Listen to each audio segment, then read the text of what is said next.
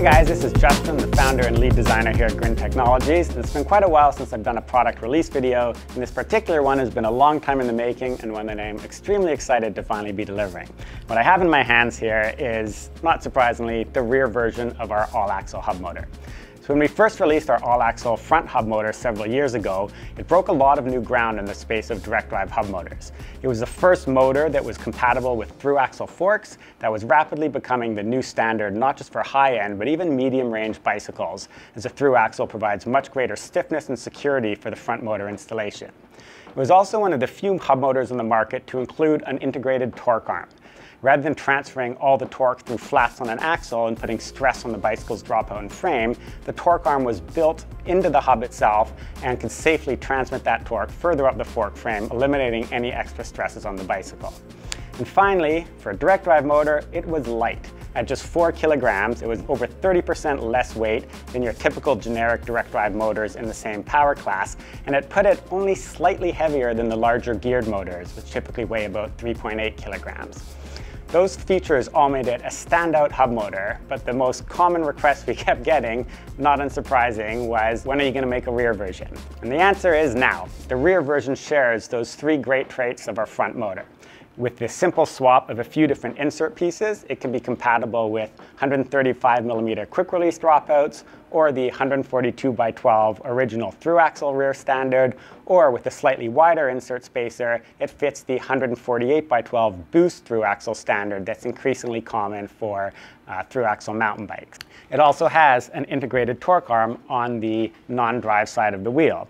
Now we machined this torque arm to be as low profile as possible, just hugging the axle to have the least amount of interference risk with the disc caliper hardware that exists on a lot of bicycle frames, especially post-mounted disc brakes that tend to have uh, collision considerations when you have too large of a torque arm on that side plate. This torque arm design conveniently attaches to the chainstay with a universal swivel mount that can accommodate almost any orientation, alignment, angle, and diameter of chainstay tubing. And then finally, the weight. Sharing all the same hardware as a front motor, it is drastically lighter than any other rear motor of this series. It is a couple hundred grams lighter than the front hub because of the extra weight of the longer axle and the hardware associated with the rear motor.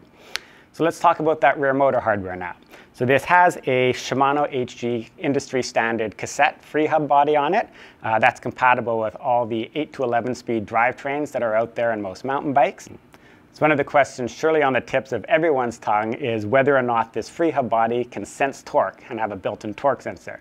Now given that Grin has released a motor last year with a built-in torque sensing cassette, you would think that our all-axle motor would also feature that, and trust me, we tried. In fact, that's part of the reason why the launch of this rear motor has taken so long, um, but unfortunately, all of the torque sensing cassette free hubs that we were able to source and prototype with were not intrinsically compatible with the larger diameter of a through-axle hub. They could only work for non-through-axle systems.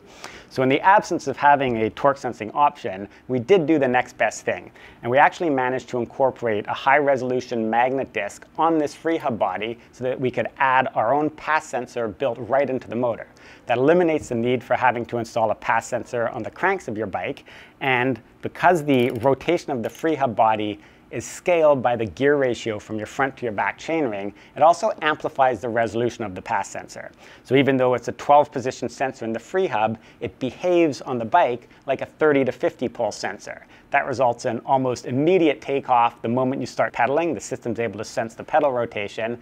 And as a two-wire quadrature PAS sensor, it gives the ability to have back pedal proportional regen using our new Cycle Analyst 3.2 firmware. So the PAS sensor built into this hub comes out conveniently as a separate cable using the same 6-pin Higo plug standard that we have on our controllers and that exists for the E-Rider, Sempu, and other bottom bracket torque sensors. With each motor, we include a 120 centimeter extension cable that plugs from this motor's PAS cable right up to the Cycle Analyst so that you can get the PAS control features without any other hardware to mount on the bike. And in some situations, you may be able to plug this in directly to your motor controller if your motor controller has two-wire PAS sensing capabilities as well. So just as with our front motor, this hub is available in three different winding speeds. There's a slow 7.5 RPM per volt option, a standard 10 RPM per volt winding, and a fast 12 RPM per volt choice. These three different winding speeds give a ton of versatility in choosing the right hub motor to reach the target speed you need based on different battery voltages and wheel diameter combinations.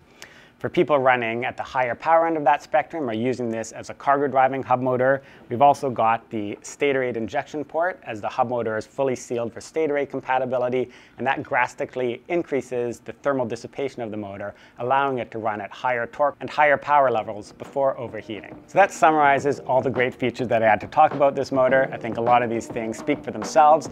We are expecting to see a huge demand and interest for people building cutting edge conversion kits and uh, we're doing our best to keep our production in stock. We're stepping up our manufacturing capacity. Our CNC lathe is running full tilt, and we really look forward to getting this motor in the hands of enthusiastic e-bike builders all over the world.